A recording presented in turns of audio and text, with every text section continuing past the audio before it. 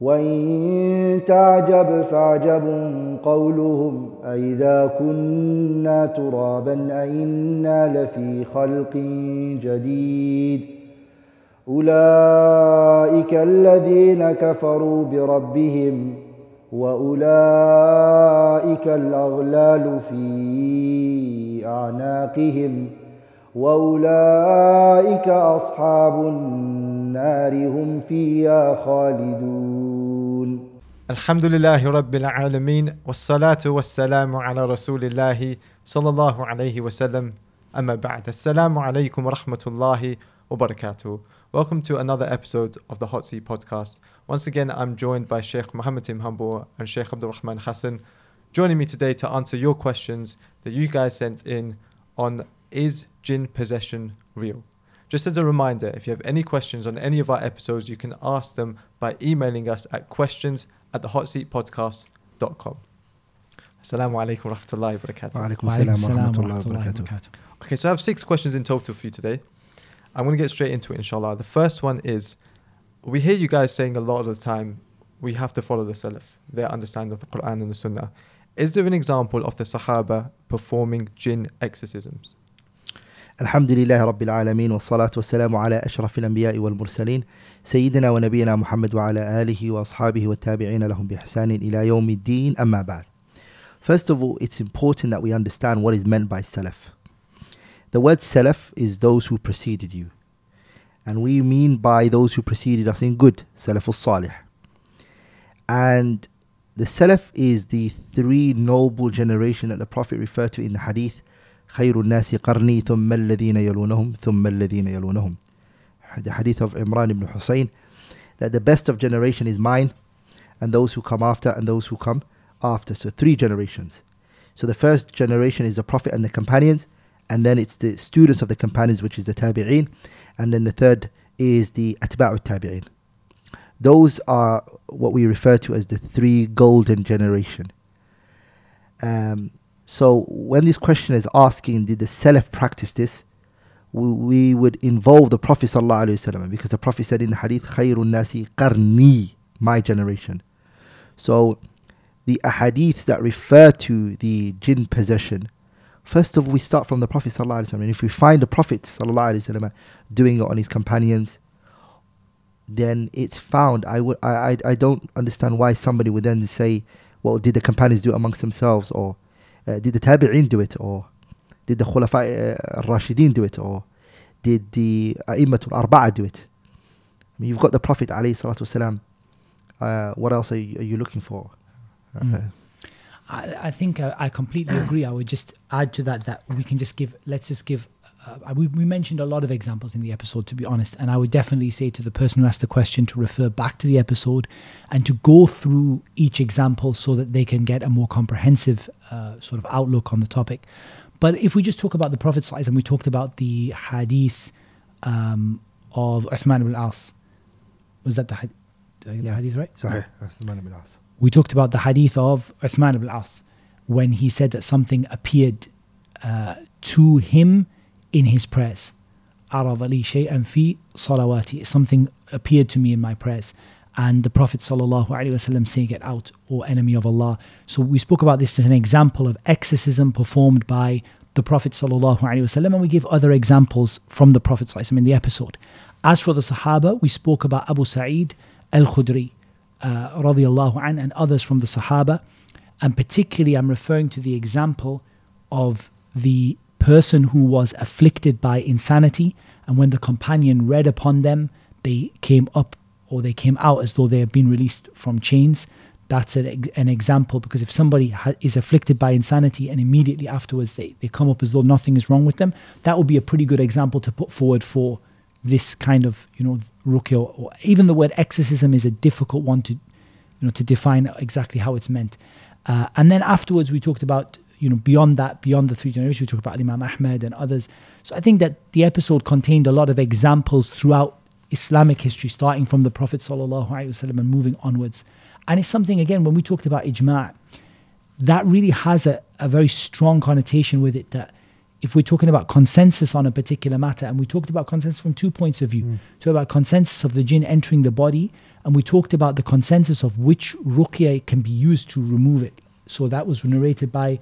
Al Imam al Nawawi, Al Hafid ibn Hajar, uh, and others who narrated that. So if we bring all that together, I think that shows that this was something that was commonly known and understood by the Salaf and those who followed them in good.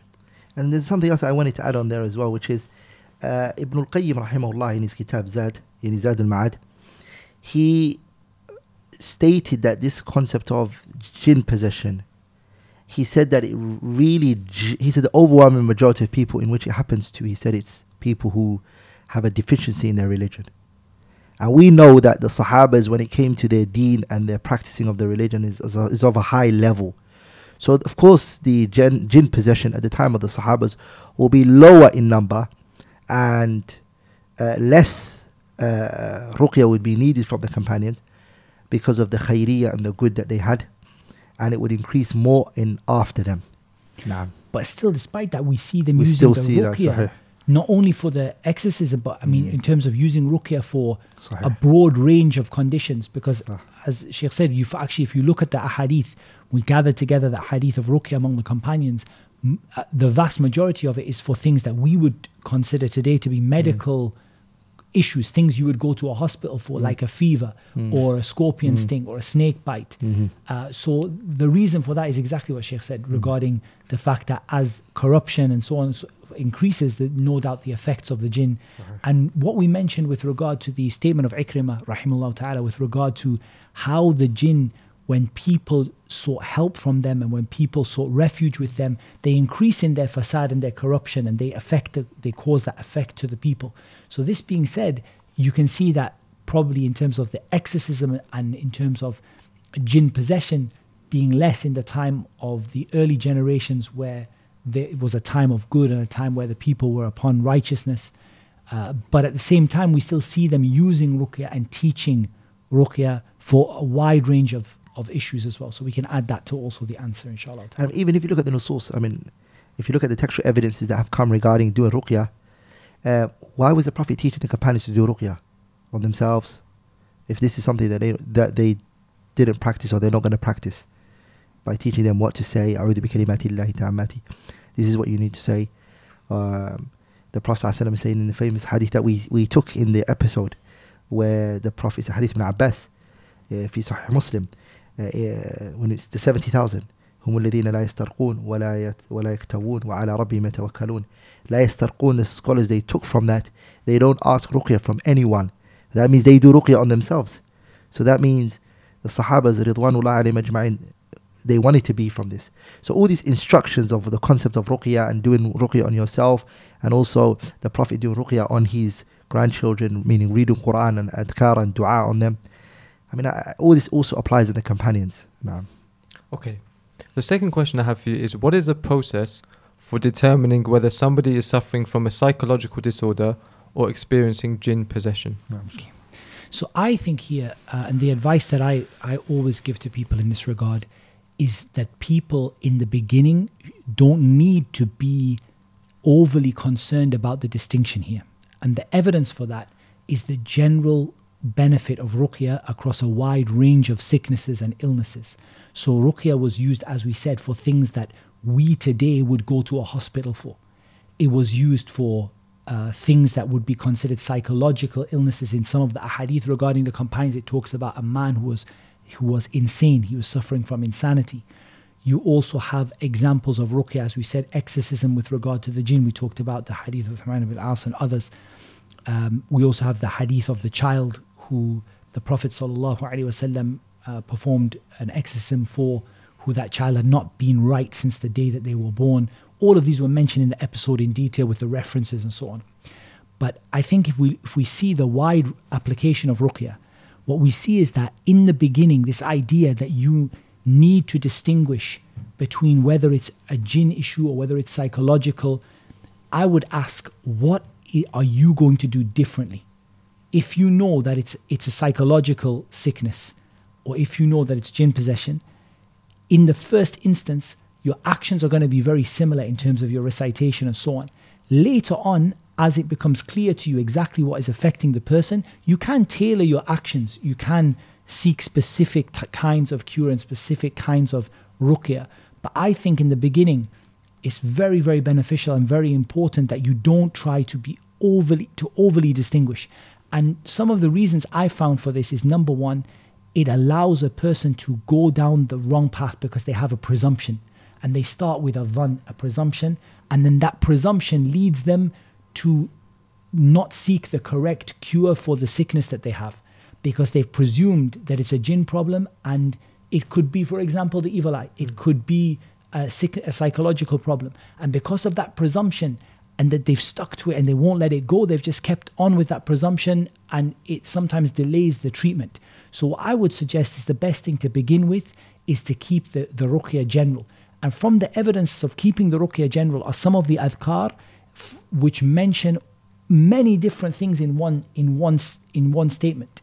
Uh, s- they mention the evil eye. They mention uh, they mention magic. They mention all different kinds um, from the evil of everything that afflicts you. Anything that harms you, anything that is causing you affliction. So these adhkar being general like that, I feel that that gives us an evidence that we don't need in the beginning to be that specific about that before I start, I need to know exactly what it is that is wrong with this person. But it's a process that you will discover over time. So as you recite on the person with an intention for Allah to cure them from whatever, anything that is afflicting you, then over time, it will become clear what the problem is and you can start to tailor and make your ruqya very specific or you can start to bring in medical uh, treatments and so on as you as time goes on. And it also, the last point I would say on this is it also stops you from being manipulated by the jinn and the shayateen. Because again, the reverse applies of people who presume this person has a psychological problem and they go on that route with all kinds of drugs and all kinds of medical treatments, and sometimes even the person is sectioned or restrained and they suffer a lot. When in reality, all they need is, is a regular ruqya program. So, what I feel is don't let the person get overly confused by these things in the beginning. Let them keep it general. Let them ask Allah for a cure from whatever it is. And let them ask Allah subhanahu wa ta'ala to show them what is wrong with the person. And then over time, they can start to be more specific as they start to see more evidences that build up and qara'in uh, that show them what is really wrong with the person. Sheikh. No. No. Yeah, that's it. That's Okay, Sheikh Abdul Rahman, this one's for you. If the jinn can possess and marry human beings, like you mentioned on the episode, is it possible for a human to conceive a child with a jinn? So the concept of uh, humans and uh, the jinns getting married, the scholars they, they use ayat from the Quran. For example, قوله تعالى uh, لم يث- لم يطمثهن إنس قبلهم ولا جان. So the word لم يطمثهن, they said it means jima' that can take place between the jinn and the uh, ins. Uh, the ayah that the Sheikh mentioned in the podcast, which is uh, ويوم يحشرهم جميعا يا معشر الجن قد استكثرتم من الإنس وقال أولياءهم من الإنس ألا ربنا. ربنا استمتع بعضنا ببعض وأج- وبلغنا أجلنا الذي أجلتنا أجلت لنا قال النار مثواكم خالدين فيها إلا ما شاء الله إن ربك حكيم عليم So this ayah, they say that the, the istimta' here is referring to, and it means that which happens between the wife and the and the husband. And even this is a long time ago when I looked at it, and I didn't have the reference to look into it more. But Ibn Kathir in his Tahdhib al-Athar, I think it was, he brought a statement of um, Ikrimah and some of the other mufassirin the ayah واستفزز من استطعت منهم بصوتك وأجلب عليهم بخيلك ورجلك. وشاركهم في الأموال والأولاد. وشاركهم في الأموال والأولاد. That this can mean that the jinn can have children with um, and he brought a hadith where he said that the Prophet ﷺ said إذا جامع الرجل امرأته ولم يسمي انطوى الشيطان أم انطوى انطوى الجان إلى إحليله فيجامع معه something like that أو كما قال عليه الصلاة والسلام if a man does intimacy with his wife ولم يسمي and he doesn't say the basmala uh, the shaitan will have intimacy with your wife with you And so these athar, they, c- they indicate and they show that the jima' can happen. ولذلك شيخ الإسلام ابن تيمية, Ibn Hajar al-Haytami, Qurtubi, Ibn J- Jarir al-Tabari and others, they mention that this is their view. That's what they hold. And some even said, like Ibn Jarir, this is the qawl al-jumhur, the view of the overwhelming majority. Like in, again, it needs more of a research to look in if it's the qawl al-rajih and each evidence needs to be. But these are the ayats that the scholars have brought forward to say that this can happen. Well, ilmu indallah, knowledge is with Allah. Sheikh, anything? Yeah. Okay, next question for you guys. What is the ruling on sharing jinn possession stories? Hmm. Well, the asali when it comes to fitna, trials and tribulations, is that the person runs away from fitna. They don't present themselves to fitna. Because when Allah spoke about the jinn, He said, uh, subhanahu wa ta'ala, لا يفتننكم الشيطان يا بني آدم لا يفتننكم الشيطان كما أخرج أبويكم من الجنة ينزع عنهما لباسهما ليريهما سوءته لا يفتننكم الشيطان Don't let shaitan bring fitna to you. And we are taught to run away from fitna whenever we hear about it, whenever its occurrence or when it occurs, to avoid it. So, especially people who are weak, seeing these things, it sometimes brings into their hearts fear that's beyond and above required. Mm. And Allah says in the Quran, فَلَا تَخْشَوْ فَلَا تَخْشَوْهُمْ وَخْشَوْنِي Don't be scared of them, be scared, be scared of me. So, Shaykh ibn Uthaymeen, I think, was asked something like that. And his fatwa that he gave on Liqa Bab al-Maftuha, he warned against it. He said these things should be avoided. But rather, what he was asked more was like stories that are written, like, you know, scary stories that people make. Whether the people can, can you make money out of that? Are you allowed to? And he, he gave tafsil. But he mentioned in there, rahimahullah ta'ala, this concept of, you know, spreading the stories of jinns and talking about it and Mm. when there isn't a actual benefit behind it. I mean, if it's the intent, the intent behind it, if it's n- knowledge and something needs to be taken out of it, and you want to bring something to people's minds, like in Mimbabi al just to tell the story or, or even to scare people with it. For entertainment or whatever Mm. purposes. I think there's a, a couple of extra points I would mention. I think definitely to add to what the Sheikh said, uh, the statement of Allah Azza wa Jal, إنما ذلكم الشيطان يخوف أولياءه فلا تخافوهم وخافوني إن كنتم مؤمنين. this is only the shaitan that makes you scared of his allies. Don't be scared of them, but be scared of me if you're really believers.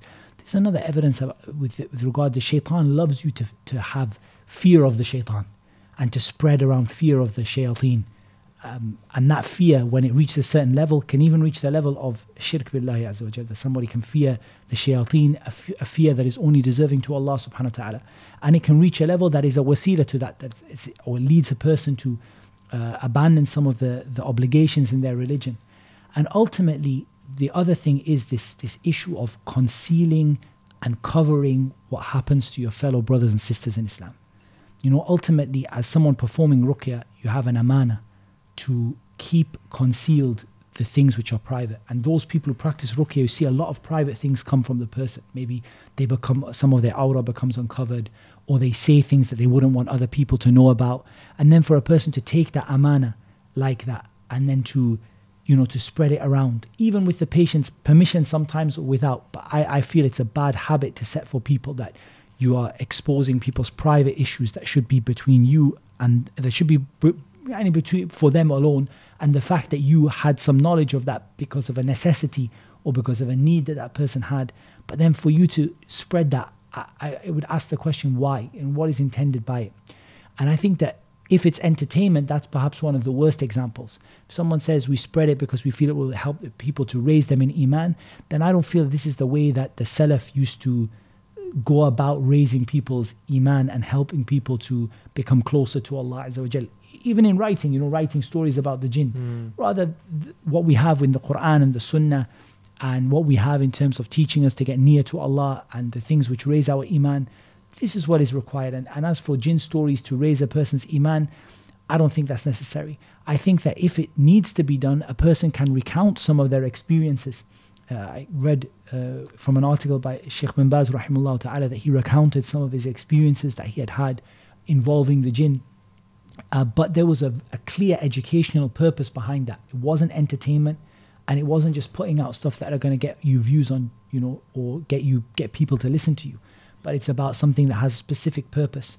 And generally, when I tell talk about experiences that I've had, involving the jinn, I try to anonymize it. You know, I don't give the person's personal information or information that I say I did a case and in this case I observed this happening and this is what Allah made easy for me to do and I found this to be beneficial and then so it has a reason for it.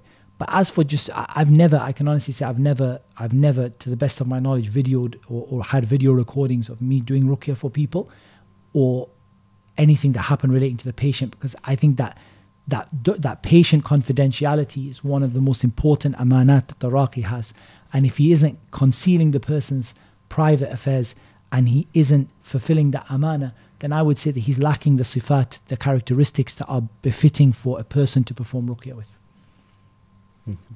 So a very similar question, and you might have answered it already in that answer. What is the ruling on watching jinn exorcism on YouTube? Mm. I wanted to add a point on this. I, I, feel it's important, which relates to a lot of things connected to the jinn, and that is the statement of Allah Azza wa Jal: "Ya ayyuhalladhina amanu in ja'akum fasiqun binaba'in fatabayyanu an tusibu qawman bijahalatin fatusbihu ala ma fa'altum nadimin."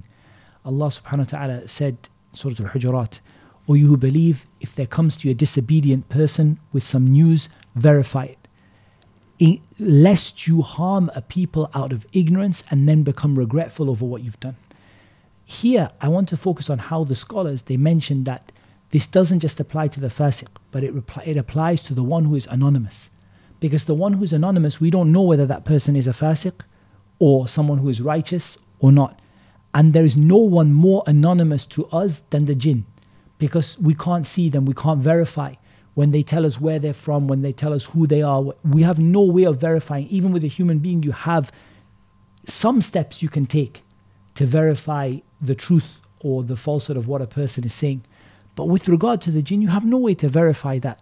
And the ayah tells us that there can be real harms that can come about when you take information that you're not sure of the truthfulness of it and you spread it among people. You can cause harm to people and you can cause people to end up with false beliefs and ideas. And how many times I've personally seen that the jinn tell stories that, subhanAllah, these stories at the minimum they distract a person from remembering Allah and in a worst case scenario they can take a person far away from Islam because they tell start to tell stories and people start to believe them and they tell things about what will happen in the future that they have their za'am about what will happen their imagination about what will happen in the future. Otherwise they don't know. But what they imagine will happen or they tell things for example like they say this was done by your mother or your your sister or your brother or your uncle and you have no way of verifying that. And indeed what it causes is families to break up and it causes news to be spread that's not and people they spread uh, conspiracy stories about things that happen and blame people without evidence i feel that there's a, so much harm can come from this. So again i'm not going to put all those youtube videos in one category but i would advise people to be very careful about what they believe from any source that can't be verified. And the jinn is definitely a source which is it can't be it can't be we can't verify the truth of what is said to us. Mm-hmm. Okay, final question I have for you guys. What is the evidence from the Quran and the Sunnah for the different forms and names of the jinn? So we mentioned a quote from Ibn Abdul Barr, uh, rahimahullah ta'ala, which mentions some of the names, and I mentioned a couple of extra ones which we had brought. Uh, these, each of them have examples. So, uh, first of all, the first one that we said is the general one that we used the word, which was jinn. And I think we've mentioned many examples uh, from that in Surah Al Jinn, elsewhere in the Quran, of the use of the word uh, jinn. Um, we also uh, mentioned the word shaitan, which again we have plenty of examples for. We mentioned the word marid, which again we have in Surah Al-Safat. Um, وحفظا من كل شيطان مالك marid. Uh, and we mentioned the ifrit, which again we have, uh, which is again uh, mentioned in the Quran سورة النمل and Surah An-Naml. قال عفريت من الجن أنا آتيك به قبل أن يرتد إليك طرفك So we have now the ifrit. لا أنا آتيك به قبل أن تقوم من مقامك وإني عليك لقوي أمين So we have now an example for, for the word uh, ifrit. Uh, on top of that, we had the word uh, al-ghul, and that is mentioned in some of the ahadith. It's mentioned in some of the ahadith that the Prophet ﷺ said, "Wala safar wala ghul." The- It's mentioned in some of the ahadith like that, and we mentioned in some of them the word as-sa'ali, And this is a word that is mentioned linguistically, but I didn't find it narrated from the Prophet sallallahu alaihi wasallam. But I found it in some of the marasil from the tabi'een that they used to use this word. Uh, can you think of any other sheikh that we didn't mention from the names that we use for the jinn? Amir, that was the other one. Ahmed, they used that. Amir and Arwah. That was two more that we mentioned. Um, I can't think of a hadith particularly. Can you think of one, Sheikh, which has the. The Arabs used to use it, uh, but I, I've seen Ibn al-Qayyim using it in his Zad, but I don't know if the Prophet used it. Mm. Mm-hmm. So uh, these are like maybe there are one or two that we might not find examples from the Prophet, ﷺ, but all of these words you can find examples from the time in which Arabic language was taken, wh- the, the time in which Arabic language was was in its pure form. So linguistically, we don't have a problem with the origin of all of them, but there are probably maybe two to three that we we might not find mentioned in the hadith specifically, but we find them being used among the um, among the Arabs. I want to mention something back in one of the questions that were asked. Um, the, you know, one of the questioner he said that you know I never came across any of the companions doing this. And so, I, when it comes to the adabul mufti wal mustafti, the scholars they talk about the manners of the one who's giving the fatwa, and the manners of the one who's asking the fatwa. They say that from the manners is that the student or the person who's asking the question, first of all, he doesn't assert something and then the ask ask the question. Because it goes against the concept of wanting to know know. They said that Yunus ibn Abdul A'la came to Al-Imam al-Shafi'i in Egypt at a very early stage when Al-Imam al-Shafi'i moved from Iraq. Because Al-Imam al-Shafi'i had students in Iraq that he taught Abu Thawr, Hasan ibn Muhammad al-Za'farani, Ahmad ibn Hanbal and others like that. Then he moved to Egypt and then he met Rabi' ibn Sulaiman al-Muradi, Ismail ibn Yahya al-Muzani, Abu Yaqub al-Buwayti, and Yunus ibn Abdul Ala.